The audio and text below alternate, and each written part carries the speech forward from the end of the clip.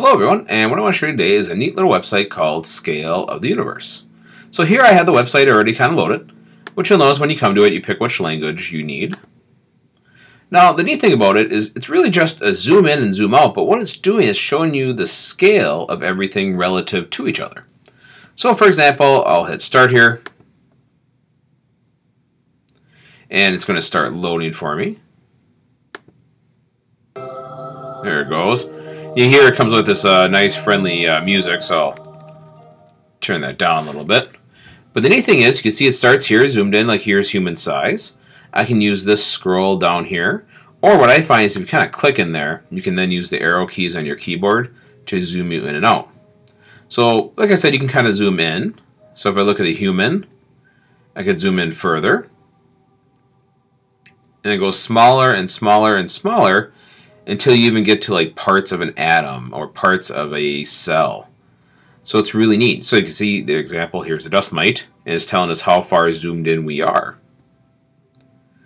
Now, if we do the opposite, let's zoom out. You can see now I'm zooming out. And as you kind of go, you, kind of gives you that really cool perspective on everything. But also, as you're going, if you hit something and you're not exactly sure what it is, so let's kind of zoom out here a little bit. So let's say, for example, geez, I don't know what in the world this thing is. If I click it, it'll actually give me a little description of what it is and how large it is. And this thing goes way, way out, way into space.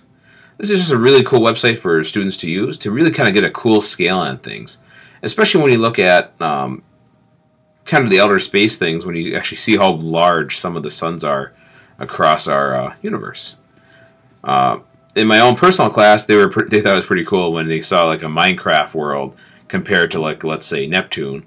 It was kind of a neat comparison. It gave them kind of a good idea, a little bit of what those sizes are. So that's scale the universe. It's just kind of really fun activity that you could uh, throw in your classroom uh, when you have a little free time. Thanks for watching. Have a great day.